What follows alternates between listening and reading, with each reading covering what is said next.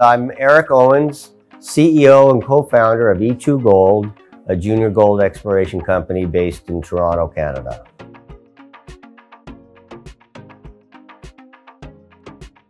Our main focus is our flagship project, the Hawkins Project in Ontario, Canada, halfway between Timmins, Ontario and Hemlo, Ontario. It's a, a large property package uh, along the same trend as those two gold districts.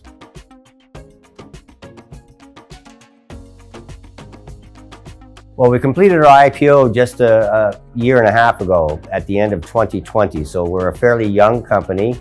Uh, we raised about $3.5 million at that point in time. We also then followed that up in the summer of last year, 2021, to raise another $5 million, $5.5 million. And we were able to, that allowed us to do a fairly substantial drill program on, on our principal asset.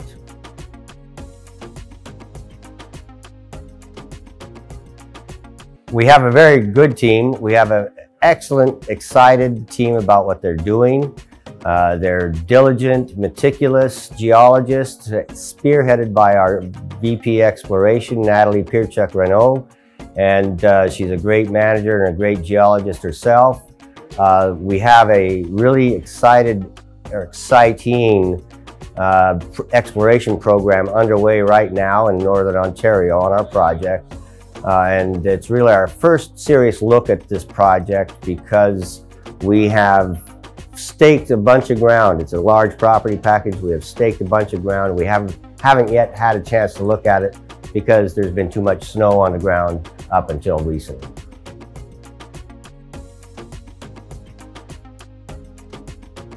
The key message we have is that we have a district scale property along one of the world's great gold mining trends between Timmins and Hemlo.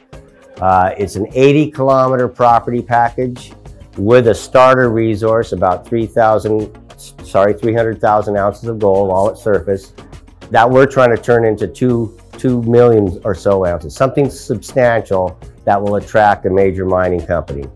This is uh, such a property, is, this property is underexplored and it's like walking into the Timmins camp, which has produced 70 million ounces of gold in 1910 before serious gold was discovered. And here we are, we're trying to do that with modern technology in this particular greenstone belt.